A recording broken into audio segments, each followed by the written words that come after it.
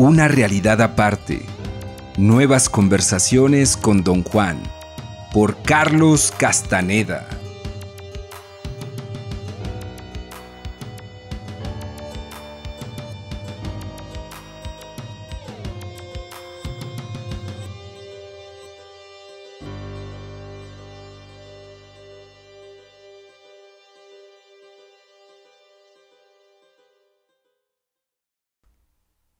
Inicié el ejercicio de escuchar los sonidos del mundo y lo prolongué dos meses, como don Juan había especificado. Al principio resultaba torturante escuchar y no mirar, pero todavía peor era el no hablar conmigo mismo. Al finalizar los dos meses, yo era capaz de suspender mi diálogo interno durante periodos cortos y también de prestar atención a los sonidos. Llegué a casa de don Juan a las 9 a.m. del 10 de noviembre de 1969. Hay que emprender ese viaje ahora mismo, dijo él a mi llegada. Descansé una hora y luego viajamos hacia las bajas laderas de las montañas al este dejamos mi coche al cuidado de un amigo suyo que vivía en esa zona. Mientras nos adentrábamos a pie en las montañas, don Juan había puesto en mi mochila galletas y panes de dulce para mí. Había suficientes provisiones para un día o dos. Pregunté a don Juan si necesitaríamos más. Sacudió la cabeza negativamente.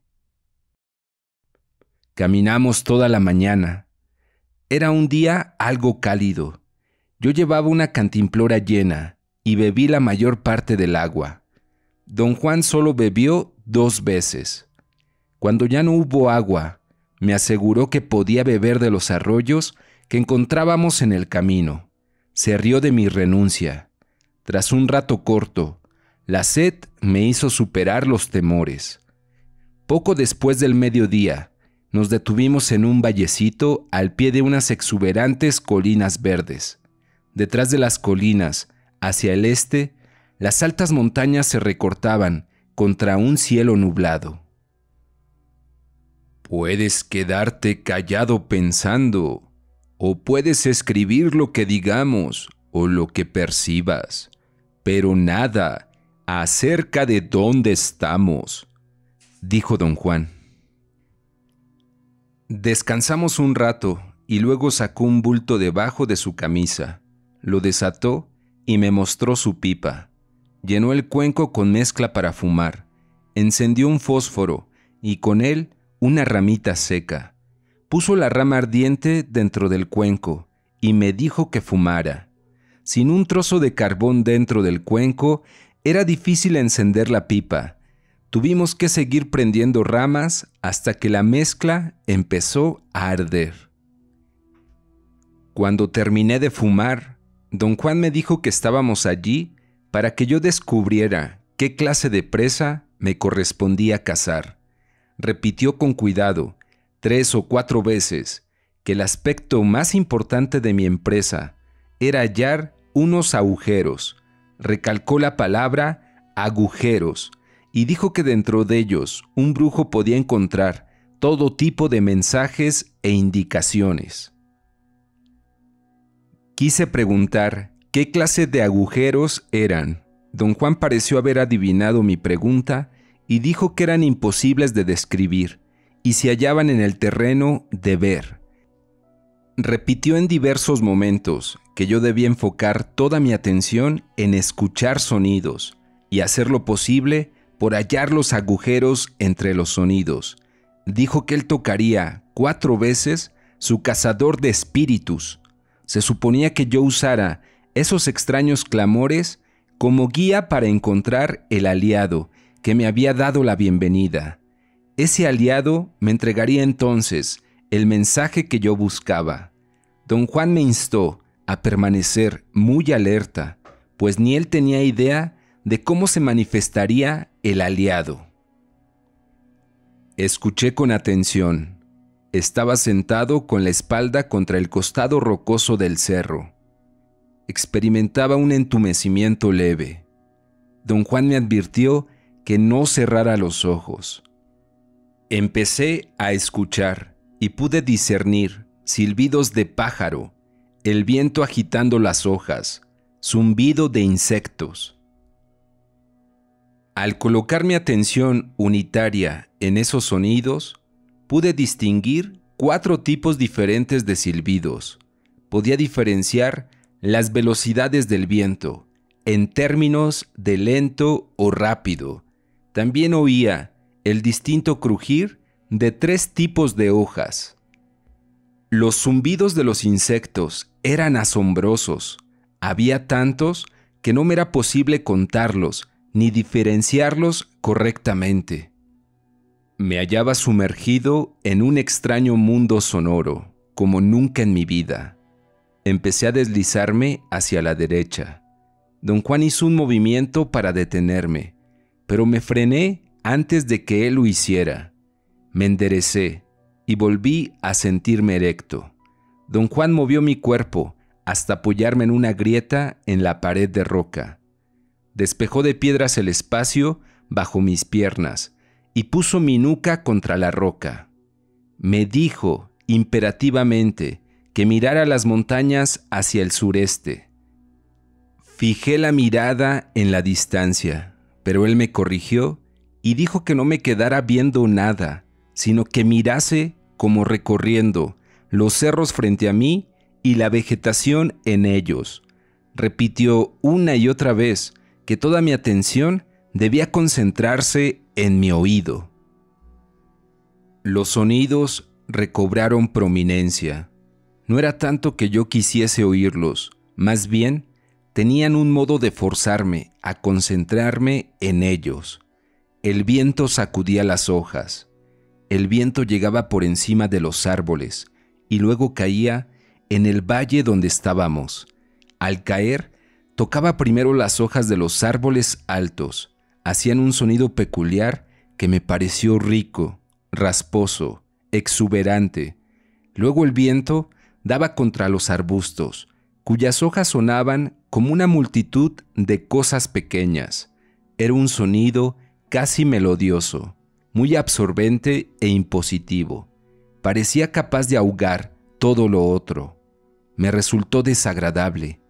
Me sentía penado, porque se me ocurrió que yo era como el crujir de los arbustos, regañón y exigente. El sonido era tan semejante a mí que yo lo odiaba. Luego oí el viento rodar en el suelo. No era un crepitar, sino más bien un silbido, casi un timbrar agudo o un zumbido llano. Escuchando los sonidos que hacía el viento, advertí que los tres ocurrían al mismo tiempo. Estaba pensando cómo fui capaz de aislarlos, cuando de nuevo me di cuenta del silbar de pájaros y el zumbar de insectos. En cierto instante, sin embargo, solo había los sonidos del viento, pero al siguiente, otros sonidos brotaron en gigantesco fluir a mi campo de atención.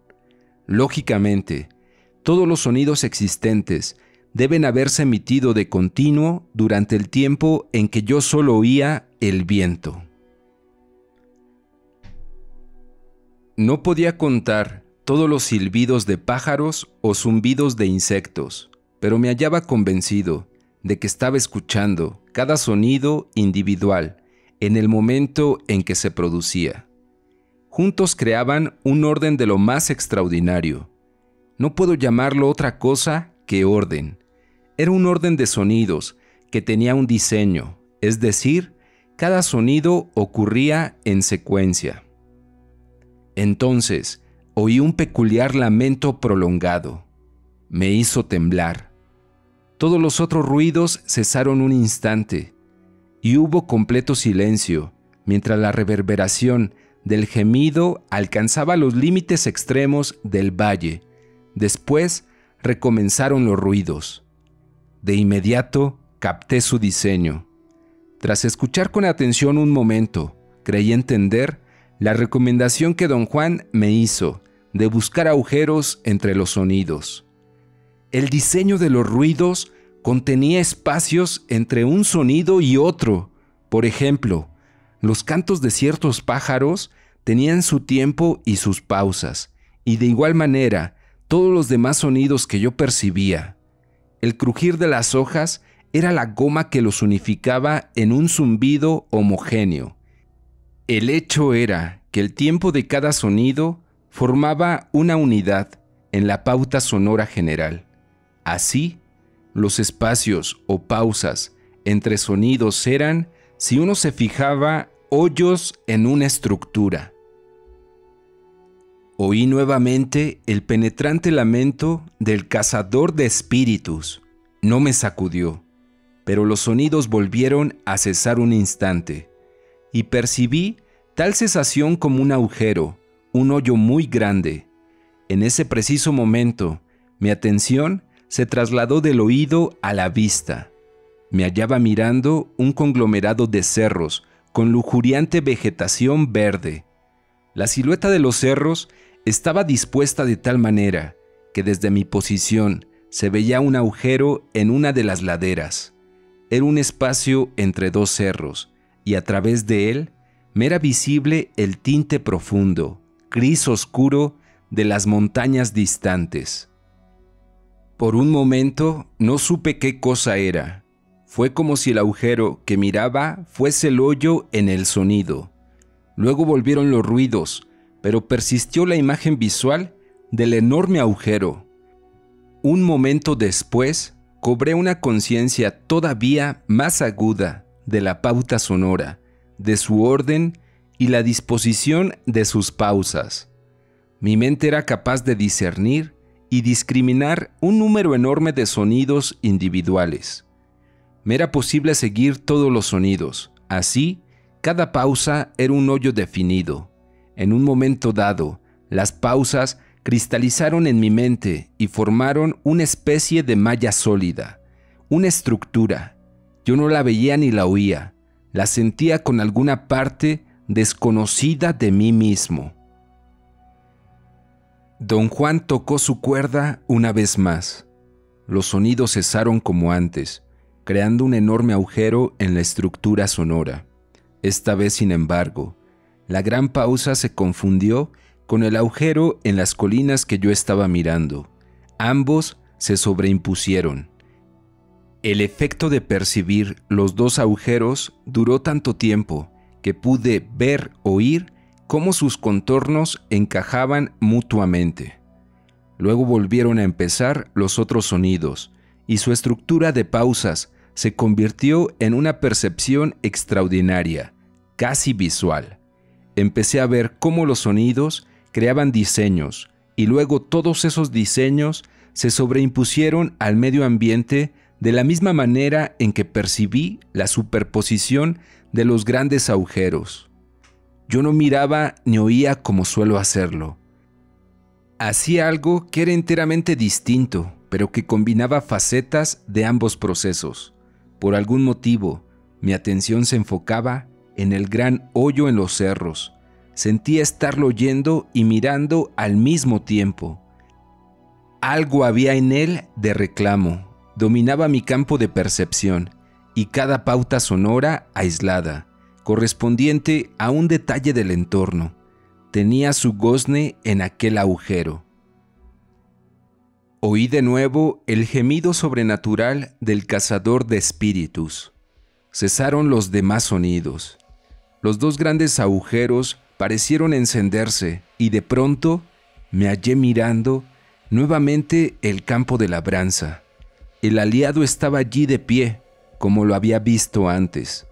La luz de la escena total se hizo muy clara. Pude verlo perfectamente, como si se hallara a 50 metros. No distinguía su cara, el sombrero la cubría. Entonces empezó a acercarse alzando despacio la cabeza. Estuve a punto de ver su rostro y me aterré.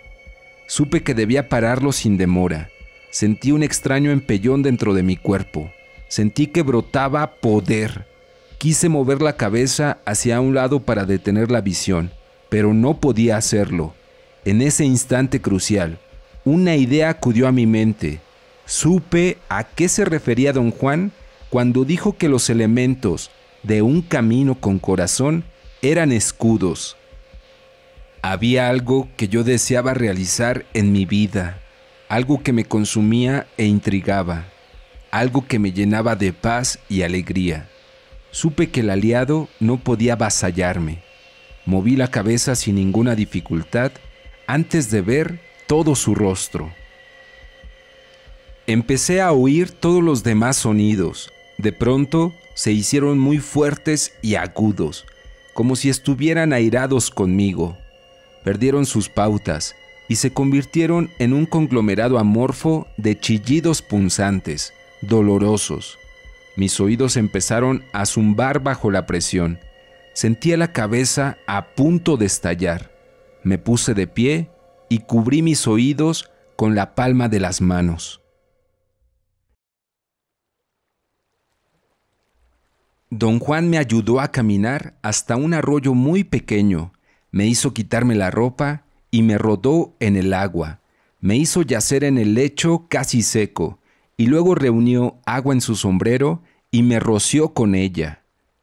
La presión en mis oídos disminuyó con gran rapidez, y solo se necesitaron unos minutos para lavarme. Don Juan me miró, sacudió la cabeza en gesto aprobatorio y dijo que me había puesto sólido muy rápidamente. Me vestí y me llevó de vuelta al sitio donde estuve sentado. Me encontraba extremadamente vigoroso, alegre y lúcido. Quiso conocer todos los detalles de mi visión. Dijo que los brujos, usaban los agujeros de los sonidos para averiguar cosas específicas. El aliado de un brujo revelaba asuntos complicados a través de tales agujeros. Rehusó especificar sobre ellos y se salió de mis preguntas, diciendo que, al no tener yo un aliado, tal información solo me haría daño. Todo tiene sentido para un brujo, dijo. Los sonidos tienen agujeros, lo mismo que todo cuanto te rodea.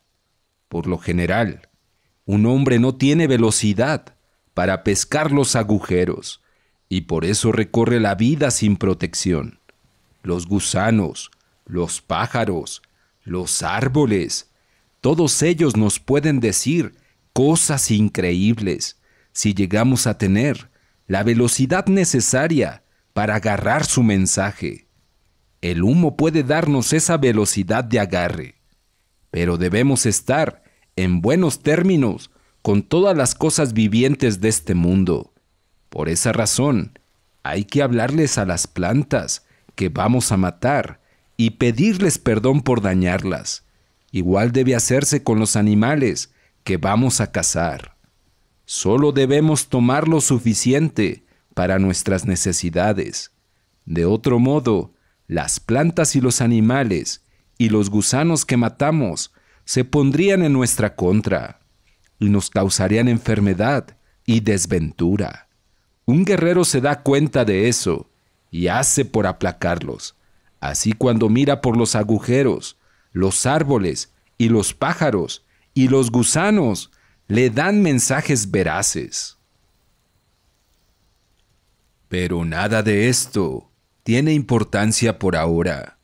Lo importante es que viste al aliado. Esa es tu presa. Te dije que íbamos a cazar algo. Pensé que iba a ser a un animal. Calculé que verías el animal que debíamos cazar. Yo en mi caso vi un jabalí. Mi cazador de espíritus es jabalí. ¿Quiere usted decir que su cazador de espíritus está hecho de jabalí? No, nada en la vida de un brujo está hecho de ninguna otra cosa. Si algo es algo, lo que sea, es la cosa misma. Si conocieras jabalís, te darías cuenta de que mi cazador de espíritus es eso.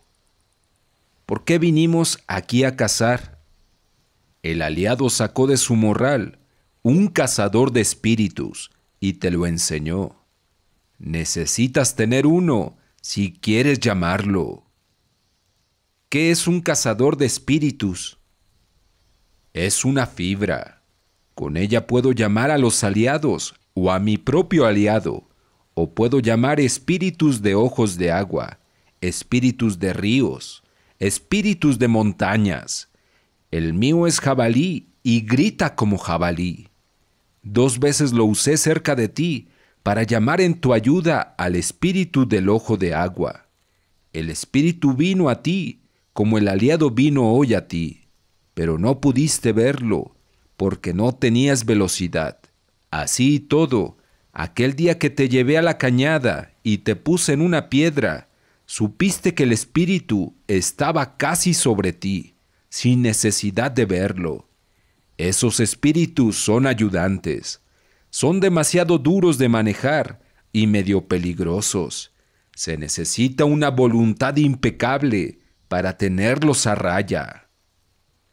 ¿Qué aspecto tienen? Son distintos para cada quien, lo mismo que los aliados. Para ti, al parecer, un aliado tendría el aspecto de alguien que conociste o que siempre estarás a punto de conocer. Esa es la inclinación de tu naturaleza. Eres dado a misterios y secretos. Yo no soy como tú, y para mí un aliado es algo muy preciso. Los espíritus de ojos de agua son propios de determinados sitios. El que llamé en tu ayuda es uno que yo conozco. Me ha ayudado muchas veces. Habita en aquella cañada cuando lo llamé en tu ayuda, no eras fuerte y el espíritu te dio duro. No era esa su intención. No tiene ninguna. Pero te quedaste allí tirado, muy débil, más débil de lo que yo suponía. Más tarde, el espíritu casi te jaló a tu muerte, en el agua, en la zanja de riego. Estabas fosforescente. El espíritu te tomó por sorpresa y casi sucumbes. Cuando un espíritu hace eso, vuelve siempre en busca de su presa. Estoy seguro de que volverá por ti. Desgraciadamente, necesitas el agua para hacerte sólido de nuevo cuando usas el humito. Eso te coloca en una desventaja terrible. Si no usas el agua, probablemente mueras, pero si la usas, el Espíritu te llevará. ¿Puedo usar el agua de otro sitio? No hay diferencia. El Espíritu del ojo de agua de por mi casa puede seguirte a cualquier parte, a menos que tengas un cazador de espíritus. Por eso el aliado te lo enseñó. Te dijo que lo necesitas. Lo enredó en su mano izquierda y vino a ti después de señalar la cañada. Hoy quiso enseñarte de nuevo el cazador de espíritus, como la primera vez que lo encontraste. Fue muy sensato que te detuvieras. El aliado iba demasiado rápido para tu fuerza, y una sacudida directa con él te sería muy dañina. ¿Cómo puedo ahora obtener un cazador de espíritus? Parece que el mismo aliado te lo va a dar. ¿Cómo? No sé. Tendrás que ir a él. Ya él te dijo dónde buscarlo.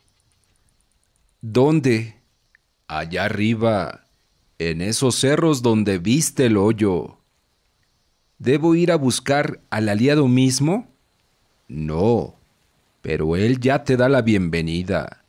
El humito te abrió el camino hacia él.